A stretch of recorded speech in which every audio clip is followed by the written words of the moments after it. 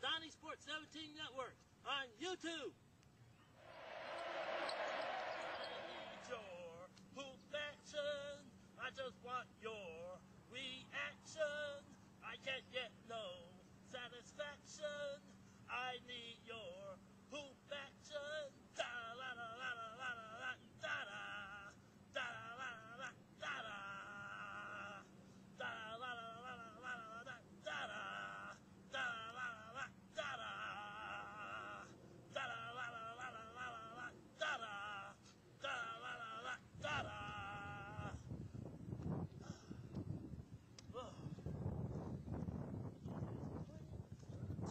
Want something, I'ma go get it. At first it be all struggle, then it's all credit. See, back in the day, getting on was mad hectic. Looking for my start in hip hop.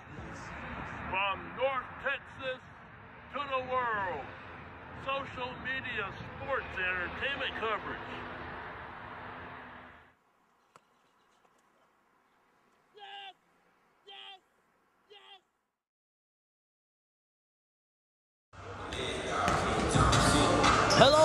And welcome to another season of the Donnie Sport Hoops Action More Show with the SMU Mustangs.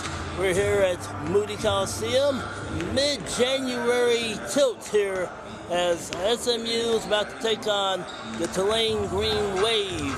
And let's bring up to speed on the SMU season so far. It started off pretty well and uh, pretty much uh, got as high as uh, like ranked number 22 and maybe higher than that uh, in the uh, national rankings. But the new new year started and conference season started, and the SU Mustangs start this day a very unfamiliar spot.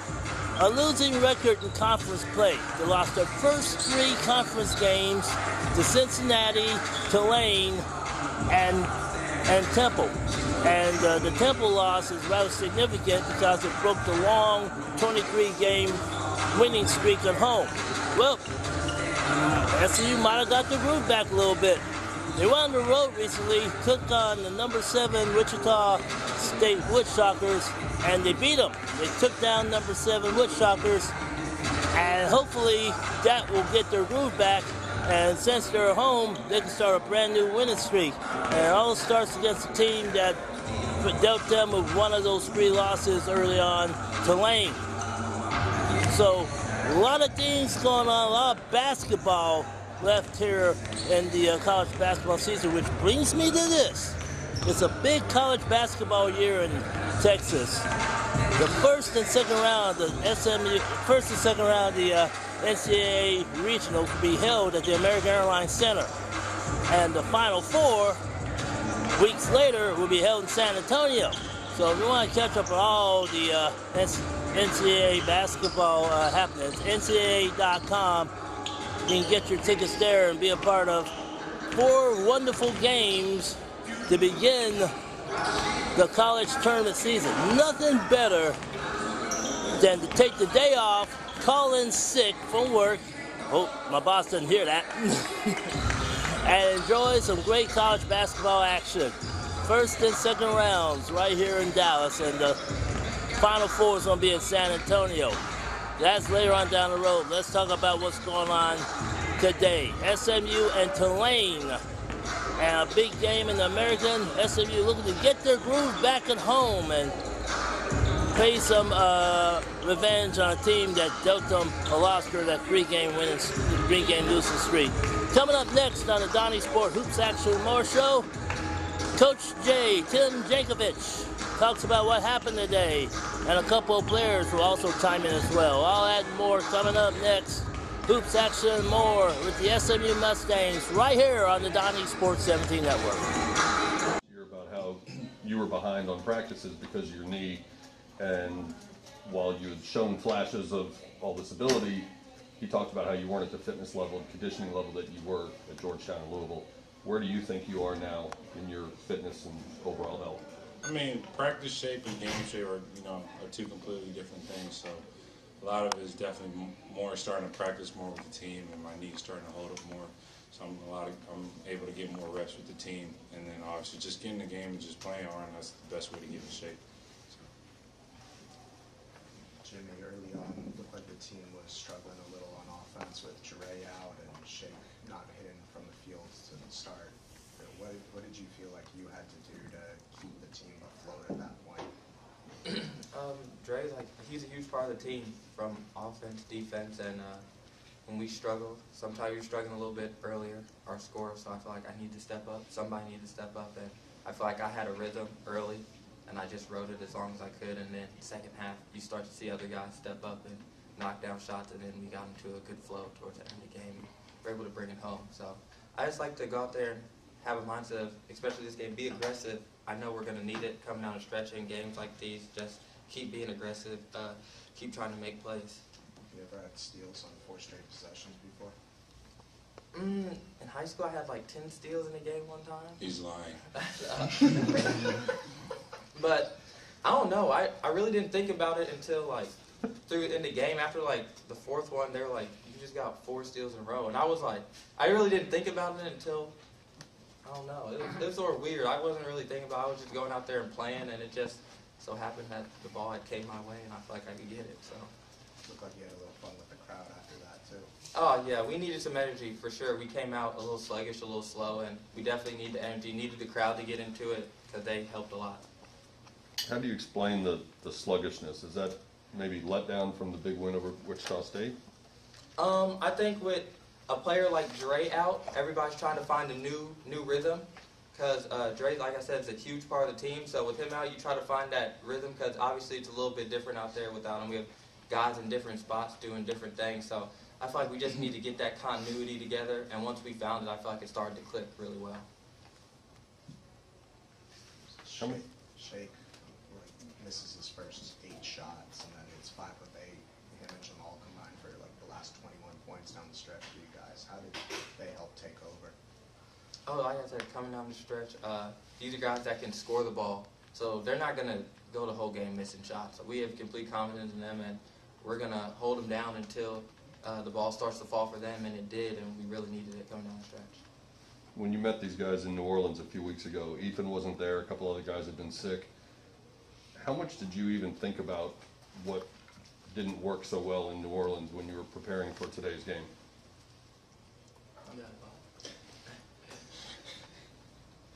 Um, I mean, we just kind of went back and watched film and saw what we did wrong, where, what were the issues in that game. Um, we just kind of try to figure that out defensively and offensively, and then we just kind of try to exploit that this game. But the biggest part for us was just, you know, our mindset was just to play hard at this game uh, for everyone, and obviously, like uh, Jimmy said, with Dre being out, we're gonna have to, uh, for however, however long it may be, other guys are gonna have to fill that role and just first mindset when you come in the game is just trying to play as hard as you can and make the simple plays, and that way, you know, it's going to help the team all around. Is there any extra motivation when you're facing a team looking for a little revenge? Oh yeah, for sure. You definitely. One thing about conference, sometimes you're lucky enough to play teams twice. So if you drop one like we did at Tulane, we felt like coming here, we definitely wanted to get that win back, and we felt really good about it today. Your offense got smoother toward the end, but for a lot of the game, it seemed out of sync isn't quite the right description. But what is it about Tulane defensively that makes a frustrating matchup for your offense? Uh, Tulane's a really good team. They like to, they really pressure. So when you drive, they're pressuring and they stay out on shooters. There are a lot of teams like that. When you drive, they help a lot. They don't help as much. So you're gonna have to make strong moves, make strong plays. It's gonna be a lot more like being able to drive and create from the dribble. I think uh, applying that pressure helps them a lot because they have a, a lot of athletic guys. They're quick. So I think that's what uh, helps them on defense. Anything else? Thank you. Be right back. A lot of varsity Thanks, was much of an adjustment was it for your offense without Jarrey Foster? um, um, you know, sometimes what happens in the middle of the game, or the beginning of the game, like at Wichita, you just kind of flow through it. But then, uh, my experience has been it always makes it a little bit difficult the next game and the next game and the next game. You know, it's, it's sort of like in the middle of a game, guys just adjust or whatever, and uh, and it's uh, it's a huge loss. It's a huge loss. We have three returning players, and he's one of them, and now he's not. Well, he wasn't there tonight. Uh, we've had bad luck with Tulane. We didn't have Ethan at Tulane. We didn't have Dre when we played here. I hope I hope we don't play Tulane again. They're uh, they're jinxing us for gosh sakes, but uh, I am hopeful. You know, it, it's uh, hopeful that he won't be out long, and uh, that would that would certainly be great news. See a bigger absence on the offensive or defensive end of the floor? It depends on the night. Depends on the night. You know, he's such a winner. Some nights he scores a lot of points. Sometimes he's unbelievable rebounder, shot blocker, defender, talker. You know, all the little things, and sometimes he does a lot of big things. And he's just a great. He's a great player. He's a great winner, and uh, he's done an awful lot quietly and not so quietly, both, to help us win an awful lot of games in the last couple of years. So, you know, big loss. But but but but I want to you know, we had some guys. Really really proud. First of all, you're coming off uh, two years in a row. We played Tulane at home, coming off a pretty big win. Last year we played Cincinnati here. Played Tulane this year. We're at Wichita. We come here and and uh, as you can well see, Tulane is a really good basketball team. I think they just broke into the top 100, well deserved. They are. They're really good. So much improved over last year. They are a tough out. I don't care. And we struggled shooting the ball early on. Obviously, Shake did what I've seen a million guys do: have a career night, and the next night just struggle mightily. Uh, but but um, in, in his case, how great was he down the stretch? He just he just willed you know things to happen, and but what a great competitor. But but you, I mean, look at look at some of the other performances. My gosh, Jimmy Whitt was amazing, and when we're you know really struggling, he gets his hands on I think four balls in a row. I don't know if I've seen that one in a, in a college game against a team this good. Changed the game, changed the momentum. Incredible, great scoring game that he had, but he did a lot of other things. Uh, so happy to see Akoy. This is a start of what I've been saying for months and months that no one here has seen Akoy. I have because I watched so much film on him when we recruited him, but he's out five months and then he was out first day of practice and he's he's not the know that's what's so frustrating to him is, is what you see is not who he really is. But tonight was a start, and I hope he can stay healthy, and I hope we can continue to build on that. He was a big, big factor tonight um, without question. And uh, Ben Emelogu, I mean, gosh, he gets nine rebounds. Did some really, really right in the right in the guts of the second half. Made some big plays that were actually scouting report plays. Just you know, he's smart, and he's following at things that we felt like we had to do, and he did a few things that were um, really big for us. But I love it. I love the I love the game. Hard fought, tough game. We've got you know, some handicaps with Dre out and, and some foul trouble late, and just in the end, kind of will ourselves to win. And, and to me, those are the best kind. You talked about Shake with his slow start, at least shooting wise, and then willing things to happen down the end. What changed? What did you and your well, staff one thing, say one thing we tried to get him. We, well, you know, uh, he was on the ball. Uh, you know, he's been playing on the ball. He's been playing a point. Let's say that. He's been playing point a lot lately. We put him on the ball. He was sensational at Wichita. Uh, Melvin Frazier is an incredible on the ball defender. And not to say that on another night, Shea couldn't have had a better night on the ball, but finally, we just felt like, hey, we'll, we'll get him off the ball, and that and that he's done that. You know, he's done both his whole life. He can score on the ball, he can score with it, without it, and uh, I think it helped him get off the ball and and uh, you know get some catch and shoot or get some get some closeouts on him instead of just having the whole defense staring at him and Melvin Frazier crawling up and setting the ball screen and hard hedging and putting all that pressure on him. But uh, you know, made some tough, tough plays, some tough shots. And you look up at the end. I mean, I, I had no idea at 20 in the end. I can't even believe that. But given how many I knew he had for a while, and uh, and uh, not not always is that going to be good news for us. But so many guys did well. I mean, the young guys did their part. You know, they played their role. They didn't try to overplay their role. And, and uh, sometimes that can happen to you, where they're a little bit overzealous. But they didn't. They did what they had to do, helped us win, and uh, it was a good Saturday late afternoon. Uh, Tulane made 12 of their first 24 attempts from three-point range. Uh, Not their MO, by the way. no, but what do you think it is that allowed them to get those looks? Well, I don't know if you noticed, but we're in a zone. Okay, so zones cause a lot of threes. They're not a great three-point shooting team, and uh, you know, you always have to look and say, okay, what is your depth and what are your matchups? If you go into a game, how are you going to match up? And we've already been thin, as you know, you well know. Our numbers are thin and our experience is very low. So, you know, you've got to make sure that you're a have the ability to match up. And certain teams are harder than others because um, they post like everybody on their team. So now they can put your people in foul trouble. Um, so you risk that, and then of course you have to protect foul trouble when you're very thin. And know everybody knows that that if you play zone, then you have a chance to protect far better than you do if you play man. So you know, and they were hot. They, they usually don't shoot the ball that well. They played. Uh, Connecticut, they played in a zone most of the time. I think they scored 50, 60 points. Didn't shoot the ball that well. They just picked today to really shoot the ball well. Did a great job. And Frazier, I think, has made five threes in the conference so far, in the whole conference. He, but you probably know that. But he's, he's made five or six. Tonight he made six.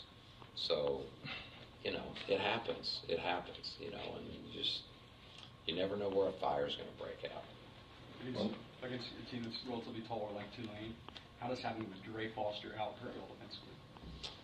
Well, right there, we felt like it's a hard matchup. Their best player, you, you know, I mean, their best two players, let's say it that way. Reynolds um, is a six-eight four-man, and he he takes the most shots. Frazier takes the second most shots. So you're looking at a six, seven, or eight guard in Frazier, and you're looking at a six, eight, four man in in Reynolds, and we're looking at a six, five, four man now with you know hard to back it up, and then at the three, you're you're looking at well, it's either Jimmy at six three or it's Shake, who's not really I wouldn't call him a three man, and then there's Jamal. So you know you look at it. This is a this is a Tulane is a very big team. We're not a very big team. They haven't been a great shooting team, so you make that decision. And the decision, the decision paid off. You know, they only rebounded the ball six six offensive rebounds. So, so you got to look at the the sum total. You know, if they shoot every ball in and they rebound every ball and you foul like crazy, then that zone was really ineffective. But they shot 14 free throws, which is very low. They got six offensive rebounds and we live with some threes, you know, especially we're living with threes from a guy that that's really not his MO. You mentioned Cameron Reynolds. When you met in New Orleans, he put up 20 points. Tonight you hold him to nine on three of 11 shooting. Was it a matter of I think it's his own. Yeah, he didn't get to, you know, they run a lot of stuff for him, a whole bunch of stuff for him. And Jure is, uh, you could argue, I, I hate to say the best, but arguably our best defender. And he guarded him a lion's share of the game. He still – still did work. And uh, now without him, you know, you're one step thinner. We, we have three really experienced guys. You want you want to try to keep them in the game, of course, and well, two tonight. But so now you don't want to get Ben Emelogu in foul trouble because now you're down two of your experienced players. Now you got one, so you got to be careful of that. So we're going to have, but but that doesn't mean every game. Of course, we're going to we're going to look at each. You know, what are our matchups? Can we can we play man to man? We've always been a man to man team, but this is a different this is a different this is a different deal. You know, we're we're short on numbers, we're on probation, and we've got injuries and illness. You know, Everett got hurt in warm-ups for gosh sake. He just got healthy and got hurt. So we got Jure out, we got Everett out, and we're sitting there looking at what is that? Eight guys total again. You know, we got a and, and not eight guys that have played a ton of major college basketball. So you know, we're going to have to we're going to have to scheme, put it that way, every game. We're going to have to put a lot of work in, which we have. We put a lot of work in for Wichita. We put a lot of work in for this. We're going to put a lot of work in for Connecticut. It, it may not always be the, the perfect answer because when you don't have all the, you know, when you're when you're mixing and matching a little bit, there's always risk. But but to just say, hey, let's just go line up with bad matchups and very little depth I think that's I think that's not a great strategy. So we're gonna have to do a lot of thinking, a lot of planning. What happened to Everett pregame? I he just sprained his ankle, I guess. I wasn't out there, but that, yeah, Okay. his other one. So I, I don't know how severe, but you know,